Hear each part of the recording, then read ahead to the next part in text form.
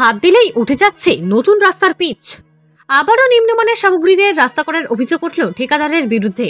ঘটনা বাঁকুড়ার বিষ্ণুপুর ব্লকের বাঁকাদহ থেকে বেলসুলিয়া হয়ে জয়পুর যাবার রাস্তার। প্রায় দশ কিলোমিটার রাস্তা। রিপেয়ারিং কাজ চলছিল, হঠাৎ করেই স্থানীয়দের নজরে আসে। কম দামের মাল দিয়ে রাস্তা তৈরির কাজ। আজ সকালে কিছু মানুষ হাঁটতে এসে দেখতে পায়, রাস্তার পিচ ভিতর থেকে ফাঁপা পা দিলেই ও হাতের সাহায্যে উঠে যাচ্ছে পিচ। সাথে সাথে গ্রামবাসীরা বিক্ষোভ দেখাতে থাকেন। তবে এই নিয়ে কন্ট্রাক্টরের কোনো বক্তব্য পাওয়া যায়নি। অভিযোগ মাত্র দুদিন আগেই হয়েছে রাস্তাটি। এখনই যদি এইভাবে রাস্তা উঠে যাচ্ছে, তাহলে পরে কি হবে? এই নিয়ে চিন্তায় আছে এলাকার মানুষজন। এলাকাবাসীর দাবি, যাতে প্রশাসন দ্রুত নজর দেয়।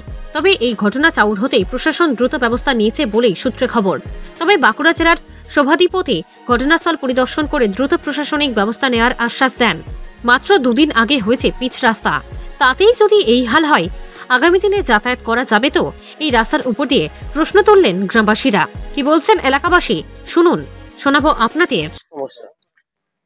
এই রাস্তাটা হচ্ছে রিপেয়ার হচ্ছে, বুঝলেন? মানে পাঁচ বছর আগে রাস্তাটা হয়েছিল পি রাস্তা মানে বাঁকাও থেকে জয়পুর, ঠিক আছে? এখন আবার মানে রিপেয়ার হচ্ছে আবার গত টত্ত হয়ে গেছে।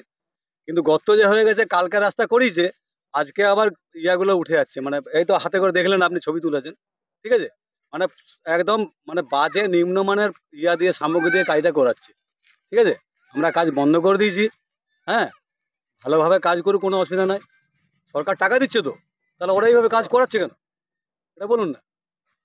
সরকার তো টাকা দেয়।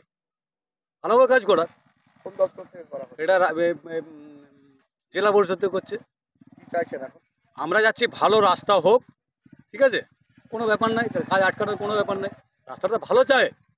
আরে এইভাবে কি বাজে বাজে কাজ করছে আমার নাম শিবা দাস।